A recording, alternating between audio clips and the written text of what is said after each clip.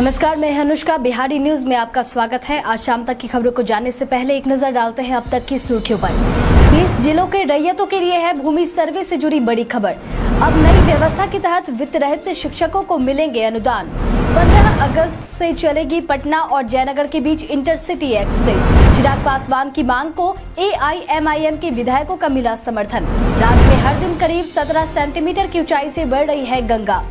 तो आइए अब जानते हैं खबरें विस्तार से। अब नई व्यवस्था के तहत वित्त रहित शिक्षकों को मिलेंगे अनुदान। बिहार सरकार अपने सिस्टम को पारदर्शी बनाने के लिए अब नई व्यवस्था के तहत वित्त रहित हाई स्कूलों और कॉलेजों के शिक्षक व कर्मचारियों को अनुदान देगी। शिक्षा मंत्री ने इन्हें अनुदान की राशि देने के लिए सीधे ऐसे शिक्षकों के बैंक खाते में डीबीटी के माध्यम से देने का फैसला किया है। इस व्यवस्था को जल्द ही सरकार लागू करने की तैयारी कर रही है। इसके लिए एक सॉफ्टवेयर तैयार हो रहा है। बताते चले कि वित्त रहित शिक्षक और कर्मचारी जब तक अपने पिछले अनुदान की राशि का उपयोगिता प्रमाण पत्र जमा नहीं करते, तब तक अगली राशि उन्हें नहीं मिलेगी। ऐसे में सरकार के पास भी अनुदान का हिसाब किताब बना रहेगा। बताते चले कि सरकार द्वारा वित्त रहित स्कूल, कॉलेज के रिज़ल्ट के आधार पर अनुदान मिलते हैं। वकीलों की समस्या पर बनी डॉक्यूमेंट्री का पटना हाईकोर्ट में हुआ प्रसारण। कोरोना और लॉकडाउन की परिस्थितियों से उत्पन्न आर्थिक गरीबी के शिकार वकील और उनके साथ काम करने वाले विभिन्न कर्मचारी भी हुए। पटना हाईकोर्ट सहित राज्य के अलग अलग जिला अदालतों से जुड़े वकील, मुवक्किल, कोर्ट कैंपस में रोज़गार करने वाले लोग की स्थितियों का जायजा लेकर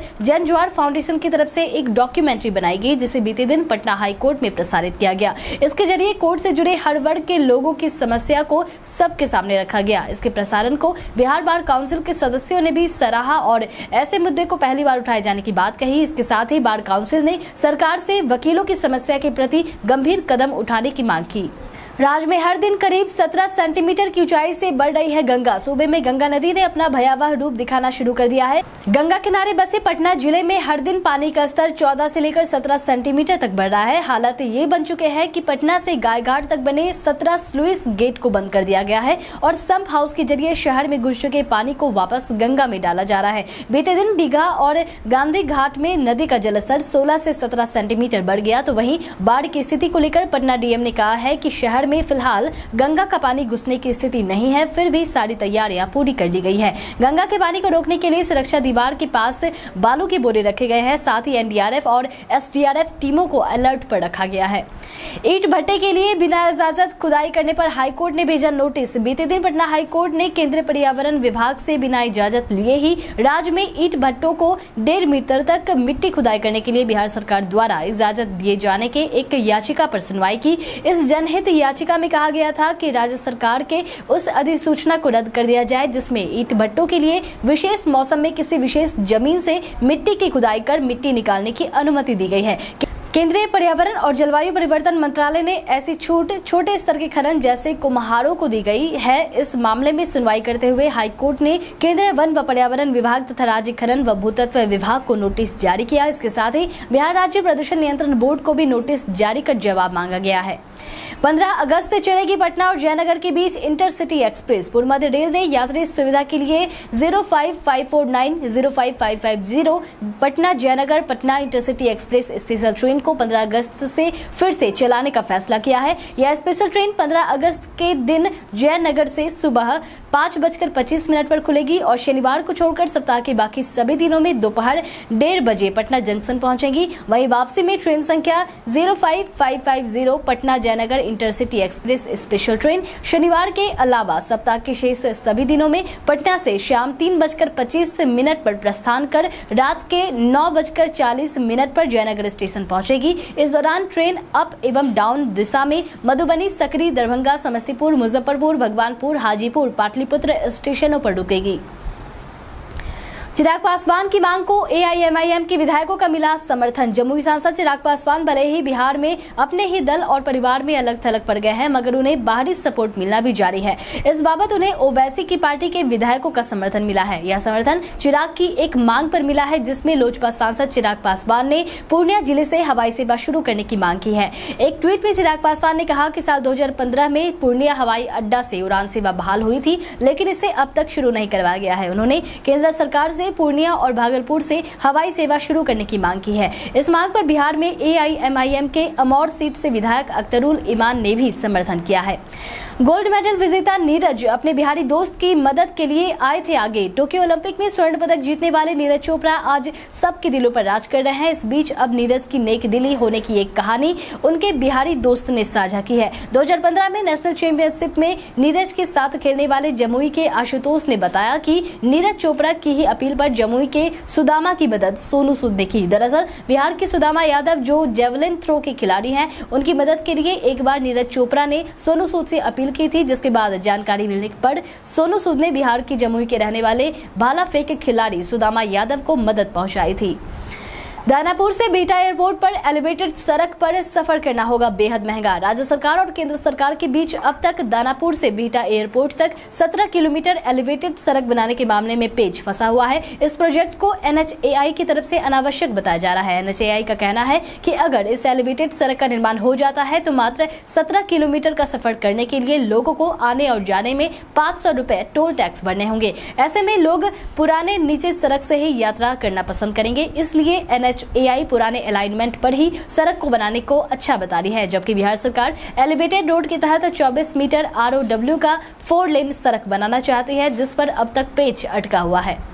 बीस जिलों के रैयतों के लिए है भूमि सर्वे से जुड़ी बड़ी खबर। बिहार में भूमि सर्वेक्षण वाले 20 जिलों के रैयतों के लिए ज़रूरी खबर है। अब इन्हें ज़रूरी दस्तावेज़ जमा करने के लिए कर्मचारियों का चक्कर नहीं लगाना पड़ेगा। इसके तहत अब वे वर्षावली और अन्य ज़रूरी दस्तावेज़ ऑनलाइन जमा कर सकते हैं। इसके लिए भू अभिलेख और परिमाप निदेशालय ने अपनी website S T T P S D L R S dot Bihar dot G O V dot in में रैयत द्वारा धारित भूमि की स्वघोषणा नाम से एक अलग लिंक दे दिया गया है। इस लिंक पर ज़मीन का ब्यौरा कर और वर्षावली को अपलोड किया जा सकता है। ज़मीन के ब्यौरा के लिए प्रपत्र दो है। इसके तहत अब रैयत अपनी ज़मीन का रकबा और खाता खेसरा की जानकारी इसी लिंक पर अपलोड करेंगे। इस ऑनलाइन सुविधा से बिहार से बाहर रह रहे रैयत को सुविधा मिलेगी। मौसमी प्रभावों से अगले तीन दिनों तक कई हिस्सों में भारी बारिश का अलर्ट। बिहार में मानसून की ट्रफ लाइन इन दिनों अमृतसर, कुरुक्षेत्र, मेरठ, गोरखपुर, मुजफ्फरपुर, जलपाईगुड़ी होते हुए अरुणाचल प्रदेश की ओर बढ़ रही है। इससे बने चक्रवाती परिसंचरण के प्रभाव से अगले चार दिनों तक राज्य के कई हिस्सों में मेघ गर्जन के साथ मध्यम व भारी बारिश का पूर्वानुमान किया गया है। मौसम विभाग ने कहा है की आज उत्तर एवं मध्यम भाग में बसे जिलों के हिस्सों में भारी बारिश होने की संभावना है। वही बारह अगस्त को नेपाल सटे स्थानों व तेरह अगस्त को पूर्वी बिहार के जिलों में खासकर भारी बारिश हो सकती है। सुप्रीम कोर्ट की कार्रवाई को विधानसभा अध्यक्ष ने बताया बेहद ज़रूरी। बीते दिन सुप्रीम कोर्ट ने बिहार के नौ राजनीतिक दलों पर कोर्ट के आदेश की अवमानना का आरोप लगाते हुए आर्थिक दंड लगाया। दरअसल आदेश के मुताबिक सभी दलों को पिछले विधानसभा चुनाव के दौरान नॉमिनेशन के 48 घंटे पहले या फिर उम्मीदवारों की घोषणा के दो सप्ताह पहले अपने कैंडिडेट की पूरी जानकारी उपलब्ध करवानी थी, जिसे बिहार की किसी बड़ी पार्टी ने भी गंभीरता से नहीं लिया था। वहीं अब सुप्रीम कोर्ट द्वारा की गई कार्रवाई को विधानसभा अध्यक्ष विजय सिन्हा ने बेहद ज़रूरी बताया है। उन्होंने कहा कि विधायिका, कार्यपालिका और न्यायपालिका के अंदर वर्षों से लंबित मामले के कारण ऐसे लोगों का मनोबल बढ़ जाता है, इसलिए तीनों स्तर पर समीक्षा की ज़रूरत है। फर्जी डिग्री के सहारे डिप्टी कमिश्नर बने बेतिया के युवक को भेजा गया समन। बिहार के बेतिया के एक युवक ने फर्जी जन्म और शैक्षणिक प्रमाण पत्र के सहारे यूपीएससी की परीक्षा पास करके डिप्टी कमिश्नर बन गए, जिसकी सीबीआई जाँच होने के बाद अब हकीकत सामने आई है। हिंदुस्तान अखबार के मुताबिक पटना के सेंट्रल जीएसटी कार्यालय में तैनात डिप्टी कमिश्नर नवनीत कुमार असल में बेतिया के राजेश कुमार है। दो हज़ार सात में उन्होंने जन्म प्रमाण पत्र और शैक्षणिक प्रमाण पत्र में हेरा फेरी करके यूपीएससी की परीक्षा को पास कर लिया, जिसकी शिकायत सामने आने पर सीबीआई ने साल 2019 में जालसाजी, धोखाधड़ी का मामला दर्ज कर अपनी जाँच को शुरू कर दिया था। जाँच पूरी होने पर 11 दिन पहले ही पटना सीबीआई कोर्ट में चार्जशीट दायर किया गया, जिसके बाद आरोपित युवक को समन भेजा गया है।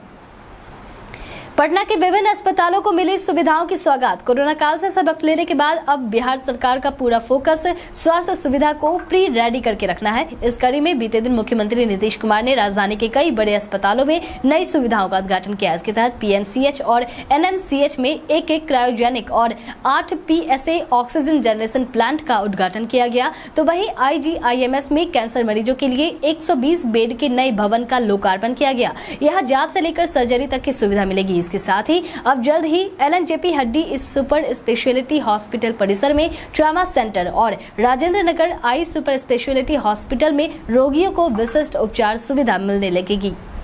बगहा के गाँव में दो तेंदुओं ने मचाया आतंक। बिहार के पश्चिमी चंपारण के बगहा में जंगली क्षेत्र से सटे होने के कारण अक्सर खतरनाक जंगली जानवर गाँव में घुस जाते हैं। ताज़ा मामले में बगहा के सिकटा बेलवा गाँव में दो तेंदुओं के घुस जाने के कारण आतंक मचा हुआ है। जानकारी के मुताबिक ग्रामीणों ने दो दिन पहले ही तालाब में एक तेंदुए को पानी पीते देखा था, जिसके बाद से ग्रामीण अपने अपने घरों में कैद हो गए हैं। हालाँकि वन विभाग को सूचना मिलने के बाद टीम रेस्क्यू के लिए कैंप कर रही है। लॉर्ड्स टेस्ट में सौरभ गांगुली भी रह सकते हैं मौजूद। भारत और इंग्लैंड के बीच दूसरा टेस्ट मैच लॉर्ड्स के मैदान में खेला जाना है। सूत्रों के मुताबिक बोर्ड के अध्यक्ष सौरभ गांगुली लॉर्ड्स टेस्ट के दौरान वहाँ मौजूद रहेंगे। साथ ही सचिव जय शाह ट्रेजरर अरुण धुमल और उपाध्यक्ष राजीव शुक्ला भी लंदन पहुँच सकते हैं। ये सभी लोग रवि शास्त्री और टीम इंडिया के साथ मीटिंग कर सकते हैं। जानकारी के मुताबिक रवि शास्त्री अब टी ट्वेंटी वर्ल्ड कप के बाद मुख्य कोच के पद को छोड़ने का मन बना रहे हैं। ऐसे में इस मीटिंग में इंग्लैंड टूर के साथ साथ टीम इंडिया की आगामी योजनाओं को लेकर भी बातचीत की जा सकती है।